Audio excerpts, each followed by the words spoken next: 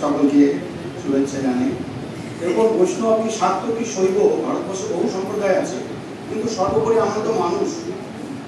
আমাদের দেশে থাকতে গেলে বহু বাধা বিঘ্নের সম্মুখীন হতে হয়।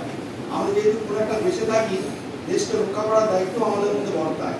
আমাদের প্রাচীন কালেও এরকম সমস্যার সম্মুখীন মানুষ হয়েছে। বর্তমানে ভারতবর্ষের যে অবস্থা, চতুর্দিক আমাদের সনাতন ধর্মের উপর বিভিন্নভাবে আঘাত আসছে। আমরা যদি শুধুমাত্র তপ নিয়ে থাকি, যেটা বৈষ্ণবেরা থাকে, তাতে কিন্তু আমরা বাঁচতে পারব না। অর্জুনকে ভগবান বলতেন, অর্জুন, ঠিক আছে, তুমি ভিক্ষে করে খাবে, তুমি তপ করো, বেশ ভালো থাকবে, তুমি যেটা বলছো। তা তো বলেননি, অর্জুন তো বলছে, অর্জুন, শত্রু সে যে বেশি আসুক, যেই আত্মীয় হোক, যেই হোক গুরুই হোক, শত্রু শত্রু। আমাদের মন সংহিতা বলছেন অগ্নিদয় গরদশ চৈব শস্ত্র পাণির ঘনা পাহ ক্ষেত্র দ্বারা অপহারি চা সরিয়েতে আততাই না? আততাই বধে ন দোষা আমরা সকলে একটা কথা বলি, অহিংসা পরম ধর্ম। কিন্তু পরের লাইনটা বলি না। ধর্ম হিংসা ততই গোচর। ধর্ম রক্ষার জন্য যদি হিংসা করা যায় সেটা অহিংসা পদবাচ্য। আগে শ্লোকটা অনুসরণকে যদি ব্যাখ্যা করা যায় অগ্নিদ যারা আমার ঘরে আগুন দিতে আসে বড়ধ্বস্য যারা বিষ খেয়ে মারতে আসে শস্ত্র পানির ধরা পাও হাতে তরবারি নিয়ে আমাকে মারতে আসছে ডাকাতি করতে আসছে আমার ঘর থেকে ধন সম্পদ লুট করে নিয়ে যাচ্ছে। ক্ষেত্র দ্বারা অপরিচয় আমার ভূমি, আমার দেশ, আমার পূর্ববঙ্গ ছিল পরিত্যাগ করে আসতে হয়েছে ক্ষেত্র দ্বারা আমার স্ত্রী, কন্যা সব নিয়ে যাচ্ছে। এই ছয় রকম পাপ যারা করে, তারা হচ্ছে আততায়ী। আততায়ী বধে না দোষ অর্জুন, তুমি মনে করো, এই বিশ্ব তোমার দাদু? দ্রোণাচার্য তোমার গুরুদেব, কিন্তু মনে করো তবে এই বিশ্ব দাঁড়িয়েছিল বসেছিল দ্রৌপদীকে লাঞ্ছনা করছে, বিশ্ব কোনো কথা বলেনি। বিশ্ব যদি তখন প্রতিবাদ করতো, দুর্যোধন কি করছে, থামো। তাহলে কিন্তু দ্রৌপদী বস্ত্রহরণ হতো না আজকে বিশ্ব এত বড় বড় কথা বলছে। আজকে দ্রোণাচার্য সকলে পূজ্য। কিন্তু যখন শত্রু হয়ে তারা তোমার সামনে এসে দাঁড়াবে, তোমাকে নির্বিবাদে তাকে বধ করতে হবে। অর্জুন দেখছেন বিশ্ব ফেলে দিয়েছেন। ধনুবান অর্জুন কি ইশারা করছেন? মারো। মারো বিশ্বকে। দ্রোণাচার্যের ক্ষেত্রে তাই। তাই শত্রু যখন যে বেশি আসুন শত্রু শত্রুকে মারতেই হবে। অর্জুন যদি তখন যুদ্ধ না করতো পাপাচারী দুঃশাসনের দুর্যোধনের রাজত্ব কোনোদিনই শান্ত হতো না, এই জন্য একটা ধর্মযুদ্ধ। অনেকে বলেন শ্রীকৃষ্ণ অনেক অপরতার আশ্রয় নিয়েছেন অনেক ছলনার আশ্রয় নিয়েছেন কিন্তু শত্রুকে বধ করতে গেলে যেই জিনিস দিয়ে বধ করতে হবে সেটাই তাকে তার পক্ষে উপযুক্ত ঔষধ। অতএব আমাদের ভারতবর্ষের সামনে যে সকল আমাদের বন্ধুরূপী শত্রুরা আছে, তাদের হাত থেকে আমাদের দেশকে রক্ষা করতে গেলে আমাদেরকে সম্মিলিতভাবে প্রচেষ্টা করতে হবে এবং সেখানে বৈষ্ণবতা করলে চলবে না। সেখানে শত্রুকে যথাযথভাবে প্রতিহত করতে হবে। নতুবা মানব জাতি একটা ভয়ঙ্কর বিপদের সম্মুখীন হবে, আমরা যেটা হয়েছি। সেই জন্য গীতার বাণী নতুন করে আমাদের সকলকে ভাবা ভাবতে হবে এবং ভাবাতে হবে, গীতা বলছেন কর্তব্যবাদী গ্রন্থ। আমাদের মহানন্দজিও বলেছিলেন কেমন আপনাদের ভগবান, কেমন মশাই? অর্জুন বলছেন, আমি ভিক্ষা করে যুদ্ধ করব না, যুদ্ধ করে ভালো। কেউ আমরা যুদ্ধ চাই না, কিন্তু যুদ্ধ দরকারও আছে। অর্জুনকে যদি তখন তিনি যুদ্ধ যুদ্ধ না করতেন তাহলে কিন্তু পাপ রাষ্ট্র চিরকাল থেকে যেত।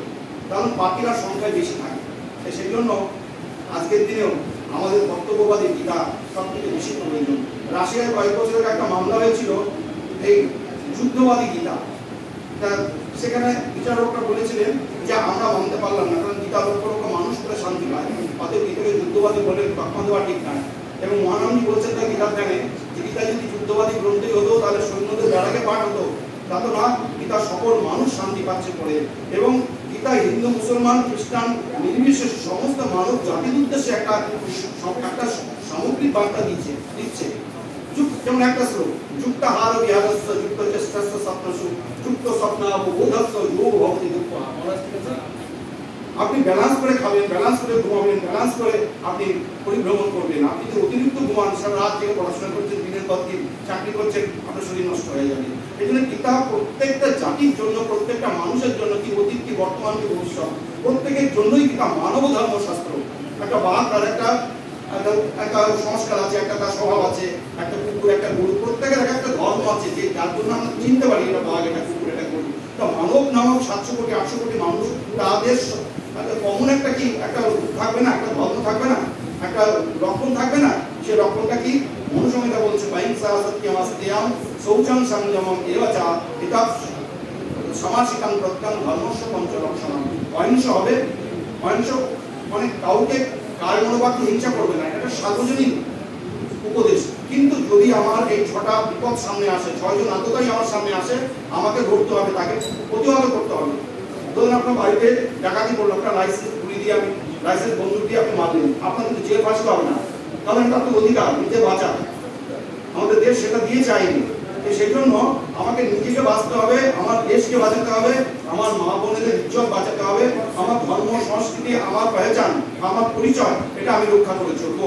তাতে যদি প্রতিহত করতে হয়, কাউকে কাউকে যুদ্ধ করতে আমাকে করতে হবে। এটা বলতে মানে সংকোচিত তবুও কিছুদিন আগে তসলিমা নার্সিংয়ের বিরুদ্ধে কিছু সম্প্রদায়ের মানুষ গ্রাম বাস আগুন জ্বালিয়ে দিয়েছিল। এবং আমাদের একটা ঘটনায় লালগোলা এসে পুরা ট্রেন আছে, আপনারা বুঝতে পারছেন কোন ঘটনা হচ্ছে ট্রেন জ্বালিয়ে দিয়েছে। পুলিশ কিন্তু নিরুপায়, পুলিশ কিছু করতে পারছে না, অর্ডার নেই। তো এইরকম পুলিশ বা মিলিটারি আমাদের দরকার নেই। যারা আমাদের রক্ষা করবে না, আমাদের দেশকে রক্ষা করবে না। ক্ষত্রিয় শক্তি আমাদের কত থেকে ত্রাণ করবে?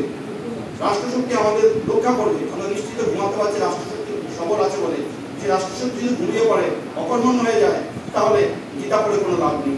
আমাদের গীতা আমাদের প্রত্যেকের কর্তব্য সচেতন করে দিচ্ছে। আমরা প্রত্যেকে মানুষ, আমাদের কর্তব্য হচ্ছে সাধারণভাবে অহিংস থাকব কিন্তু আমাকে যদি কেউ যদি আক্রমণ করতে আসে, আমার দেশকে আক্রমণ করতে আসে, আমার সভ্যতা, সংস্কৃতিকে যদি আঘাত আনে আজকে আমাদের বাংলা ভাষায় কীরকম বিদেশি সংস্কৃতি ঢুকে যাচ্ছে মূল সংস্কৃতি ঢুকে যাচ্ছে, আমরা কি চিন্তা করেছি?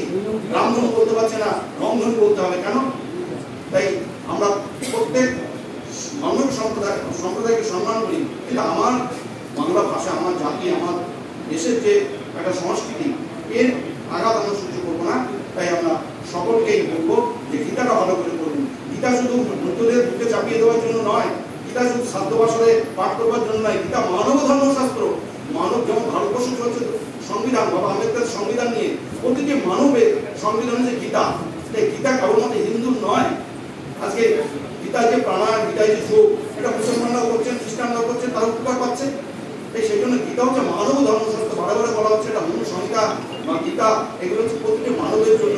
একদম জেনারেল একটা ইটার্নাল একটা তত্ত্ব। তাই সেই জন্য আমরা বলব সকলকে, সকলের প্রতি শ্রদ্ধা রেখে বলব, আপনারা গীতাকে কেবলমাত্র হিন্দু একটা সংকীর্ণ মনোভাবের দৃষ্টিকোণ নিয়ে দেখবেন না, এটা সমস্ত মানব জাতি আমরা যেন গীতাকে শ্রদ্ধা করি এবং প্রত্যেকে অন্তত দিনে একটি অধ্যায় বা একটি শ্লোক পাঠ করি, তাহলে আমরা আবার এই ভারতবর্ষকে সোনার ভারতবর্ষকে